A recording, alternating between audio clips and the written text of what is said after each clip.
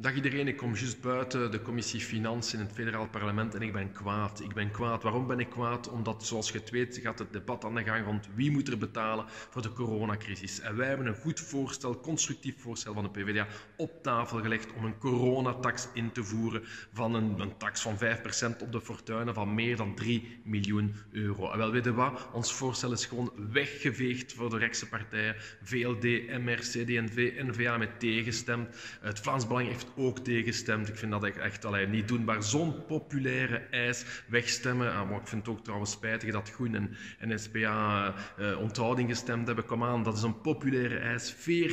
40.000 mensen hebben ons voorstel al een handtekening toegegeven. Dus je, je, kunt toch niet inkomen dat ze daar tegenstemmen. Als je weet dat er in België 2% van de rijksten in België een patrimonium hebben van 663 miljard euro, dan kunnen die mensen toch een beetje bijdragen, zodat Jan met de pet niet moet betalen, dat nu weer eens de werkers zijn die moeten betalen. Maar zoals je het weet met de PvdA gaan wij niet opgeven, dus wij gaan er door met de strijd. We hebben al 40.000 handtekeningen, dus echt waar, tekent verder.